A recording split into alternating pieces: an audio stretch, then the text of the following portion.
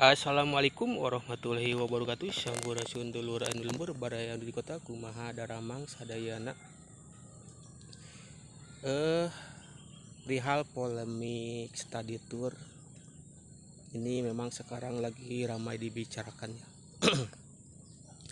pertama saya ikut berduka cita atas meninggalnya para korban yang melakukan study tour sekolah SMK ya yang sekarang lagi rame ini masalah study tour memang eh, dari dulu sebenarnya selalu menimbulkan polemik cuman eh, puncaknya sekarang eh, ketika sudah terjadi kecelakaan siapa yang bertanggung jawab nah ini yang akan saya bahas ya.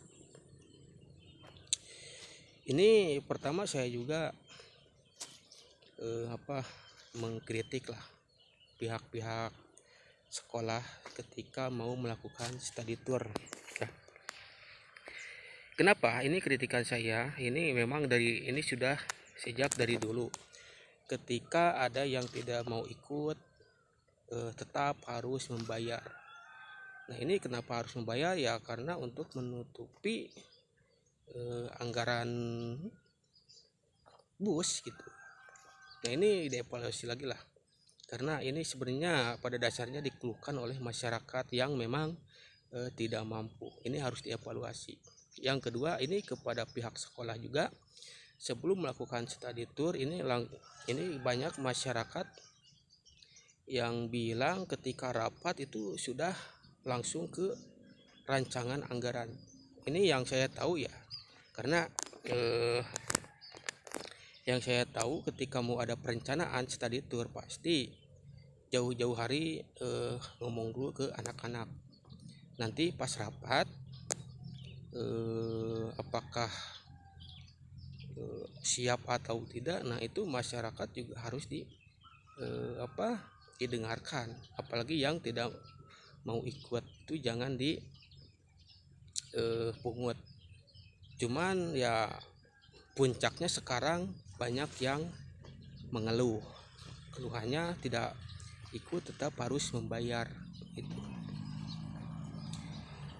eh, sebelum ada rencana study tour biasanya selalu ada rapat. Rapat itu bukan langsung ke anggaran tapi persetujuan setuju atau tidak.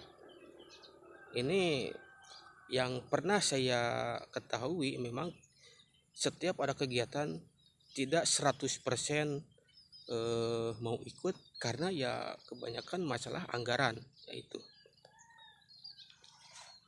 Ini masalah masyarakat.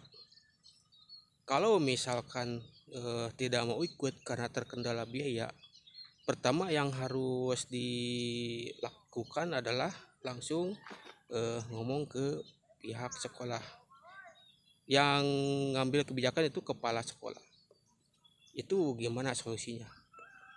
Kalau misalkan tidak ada solusi tidak mau ikut tetap dipaksa harus bayar. Nah di situ sebenarnya bisa dilaporkan kepada pihak e, dinas terkait ya dinas pendidikan. Itu nanti kepala yang akan ditegur.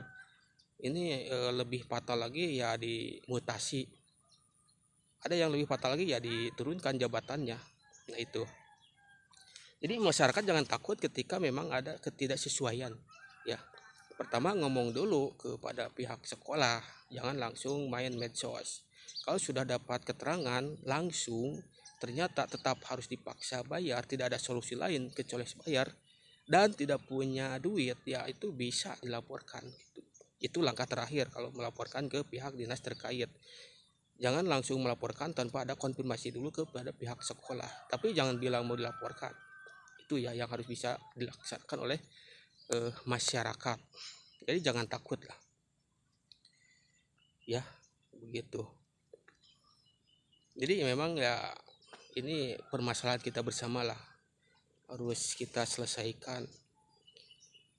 Jadi pihak sekolah juga tetap harus melihat keadaan e, siswa. Jangan asal ngambil kebijakan tapi memberatkan orang tua ini memang yang saya baca di warga net lah netizen. Ya begitu begitu rapat langsung ke rancangan anggaran bukan persetujuan.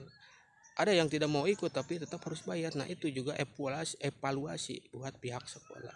Syukur-syukur itu jalan-jalan ya dari pihak sekolah. Mungkin kalau digratiskan eh, tidak akan apa tidak akan ada polemik adapun itu kecelakaan ya sebenarnya bukan hanya bis sekolah juga. Banyak kecelakaan-kecelakaan yang lain juga sih kalau melihat dari segi kecelakaan karena tidak ada yang tahu. Nah itu. Jadi begitu ya. E, masyarakat kalau misalkan tidak setuju ya sudah jangan bayar. Kalau ada ancaman laporkan saja itu pihak sekolah. Kalau misalnya ada ancaman e, A sampai Z lah tapi harus bicara dulu baik-baik kepada pihak sekolah. Jangan asal posting terus tanpa ada konfirmasi kepada pihak sekolah. Kalau pihak sekolah sudah mentok tidak ada solusi selain harus bayar nah itu baru. Itu jalan terakhir melaporkan kepada pihak dinas terkait. Nanti yang akan menegur adalah dinas pendidikan. Kalau misalkan tingkat SMP SD itu dinas pendidikan kabupaten ya itu langsung saja laporkan begitu keluhannya apa? Gitu ya.